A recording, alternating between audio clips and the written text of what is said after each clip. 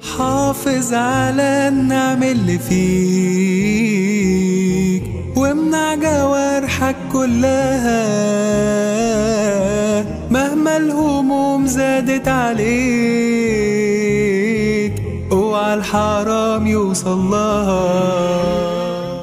من أعظم الأمور اللي تدلنا فعلا قد إيه القلب بالنسبة لنا في حياتنا مهمة. القلب ده لو اهتمينا بيه وسعينا لإصلاحه يكون فعلا حصن عظيم جدا يدخل فيه الإنسان ويكون القلب ده هو الحامي من الشهوات والشبهات وهو الحامي من الفتن. المعنى ده ذكروا العلماء من قول النبي صلى الله عليه وسلم حتى تعود القلوب على قلبين قلب أبيض مثل الصفا. لا تضره فتنة ما دامت السماوات والأرض. القلب اللي كانت بتتعرض عليه فتنة ورا فتنة فتنة ورا فتنة فتنة ورا فتنة وكان في كل مرة بينكرها ولا يلتفت إليها أصل صاحبه كان مهتم بيه. فكانت النتيجة قلب واحد منهم أصبح مثل أبيض نقي ما شاء الله مثل الصفا. الإمام النووي بيقول ليس تشبيها بالصفا في بياضه ولكن من شدته على عقد الإيمان وسلامته من الخلل وأن يفتن.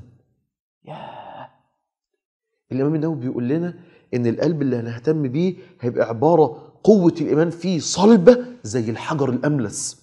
شفت قوته؟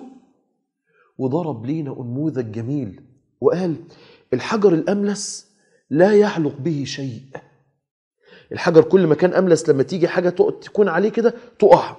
قال وهذا حال قلب المؤمن كلما عرضت عليه فتنة سقطت فلا تثبت عليه شيء وهو ده من أعظم القيم اللي لازم تكون موجودة جوه القلوب.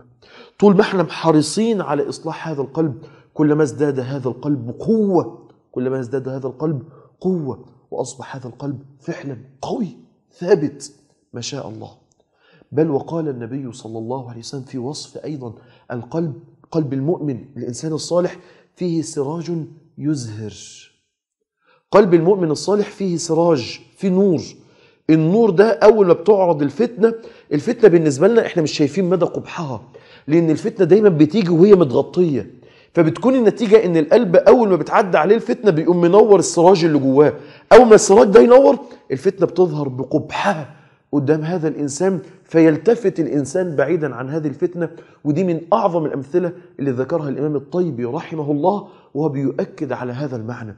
فبيقول لنا إن السراج اللي بيزهر جوه القلب ده أول ما تعدي الفتنة بقبحها بس كانت متغطية أول ما سلط القلب عليها هذا السراج الذي يزهر ظهرت الفتنة في قبحها ونتن هذه الصورة فابتعد عنها هذا القلب كقلب يوسف عليه الصلاة والسلام.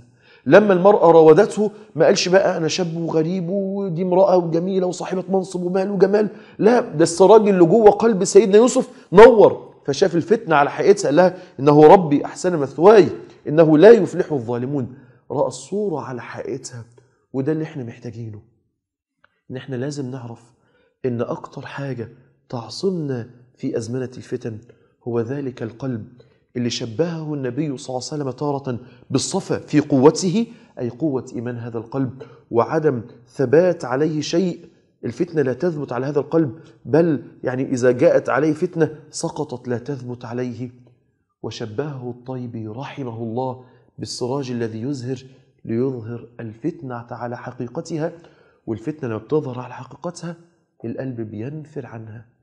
عرفتوا قد إيه القلب بالنسبة لنا مهم؟ حافظ على النعم اللي فيك وامنع جوارحك كلها. مهما الهموم زادت عليك أوعى الحرام يوصل لها.